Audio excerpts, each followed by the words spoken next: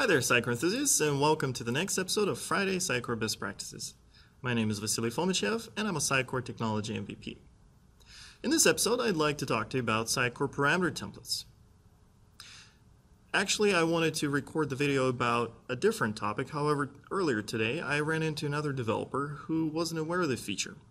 It seems like once in a while I'll keep running into developers and content authors that never seen or even heard of this feature in Sitecore. However, it's very helpful, especially for content authors. It dramatically improves the usability of Sitecore client editing tools. So what are these parameter templates? Well, as developers, we know we have rendering and sublayout components that compose the presentation of Sitecore outside of the layout. And we also know that renderings and sublayouts have parameter section in their properties, which we can use to pass custom settings that would apply to that rendering or a sublayout. For instance, page size and number of uh, search results, for instance, um, and, and other things related to that render, uh, component on the page. However, there is a problem with that. Those fields are free form, free text entry fields.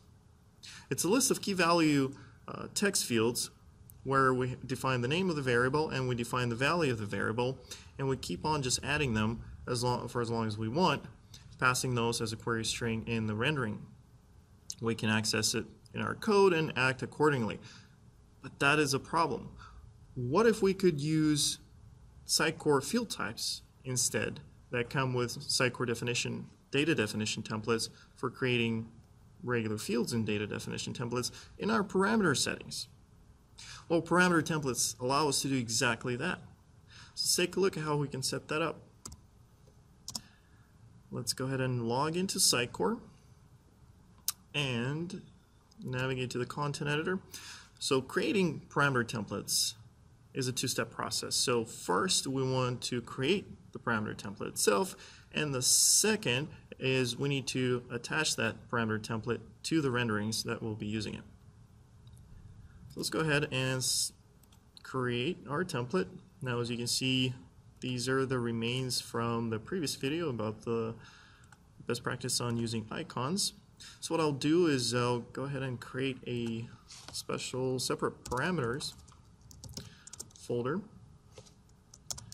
templates uh, rendering parameters or I usually call parameters let's keep it simple now if uh, when we follow the uh, component-based architecture and as the solution grows what I usually end up having is the site folder underneath that I would have let's say components folder and then the list of component folders and each component folder would have its own parameters uh, folder inside it's just an easy way to separate those out from other section uh, or component based templates. So we'll go ahead and create a new template. We'll call it a sample parameter temp template. Now instead of inheriting from the standard template, this time around we'll go ahead and inherit from the standard parameter rendering template. And I believe it's under system layout and it's under uh, rendering parameters and there it is standard parameter let's see what was the name again?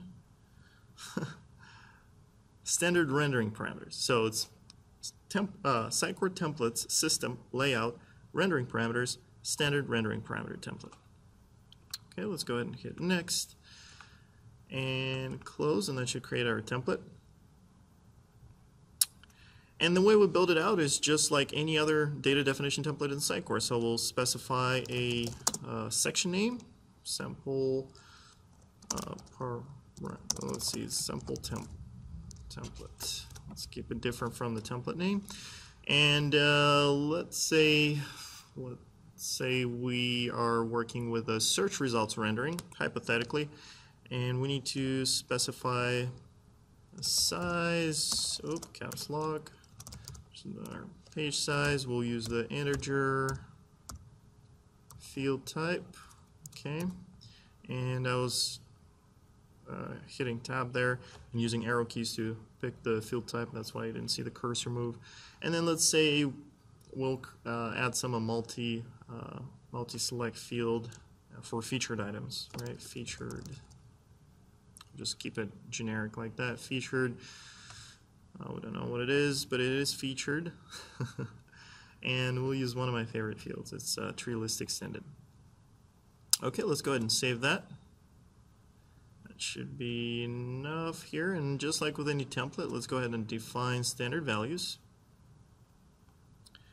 And in standard values, we'll define, let's define a default value for the size field. Let's say 50. That seems to be the gold middle, uh, middle according to some research. I, I don't remember whose research, but I remember reading about it. They said it's the, the optimal search uh, number of search results per page. So that's step one. We've created our rendering template. Now, step two is to create, uh, to attach the template to the rendering or a sublayout. So let's take a look. And I believe this home item is created from the default sample item template that comes with Sitecore it is. Uh, and it uses sublayouts, judging by name. We're still in Web Forms land by default in Sitecore. So let's go ahead and attach it to the sample sublayout. So let's navigate to the layout section sublayouts. And there it is, sample sublayout. So once you click on it, oh, look at that. I didn't even have to scroll, but once you click on it, all you have to do is scroll just a bit, and then you'll see the second field in the template settings uh, called parameter template. All we have to do is just point it to our new template that we've just created. Let's go ahead and navigate to our parameters folder, sample parameter template, save that. And that is it. So now we should be able to go to the home item, go to the properties of that sub layout, and we should now see our new fields using uh, in parameters, uh, sub layout parameters using our new um, uh, fields with type safety. Let's go ahead and go to details, sample sub layout, and here it is. So we have our sample template, which was the name of the section. We have our size, default size set to 50, and we have our featured field, which is a, an extended tree list field, where we can uh, select featured items. So as you can see, this dramatically improves the experience of using parameters.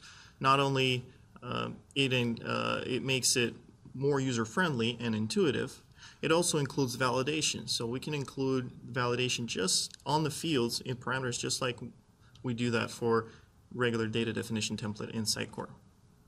Now, let's go back into the properties. And if we scroll a bit further, now notice that we still have the parameters section. So we're still able to add uh, multiple, let's see, let's go, complaining about the space there, multiple variables here and pass multiple settings. So when would we use one over the other? When would we use, or when would we want to use the freeform text entry parameters over the parameter rendering template?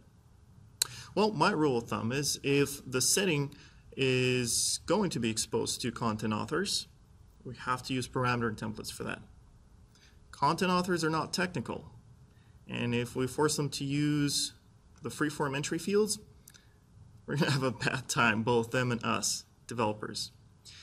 Now, if there is a setting that should be hidden from content authors, however, maybe perhaps exposed to developers or designers or more, or technically advanced uh, stakeholders, then we can use freeform entry fields. Perhaps maybe a, a, hidden setting that allows some extra debugging or some extra functionality on the tool or exposes some features that aren't available by default in the rendering. So just a few ideas on the, on the type of uh, parameter settings that we can put in the freeform entry fields. So here we go. This best practice was on using parameter renderings. Hope you uh, enjoyed the video and realized the potential and the benefit of using them in your solutions and uh, start implementing it in your Sitecore implementations. So again, this uh, was Vasiliy Fomichev, and I'm a Sitecore Technology MVP.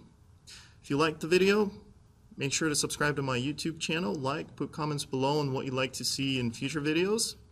For more uh, tips like this, check out cmsbestpractices.com, and I will see you next Friday. Over and out.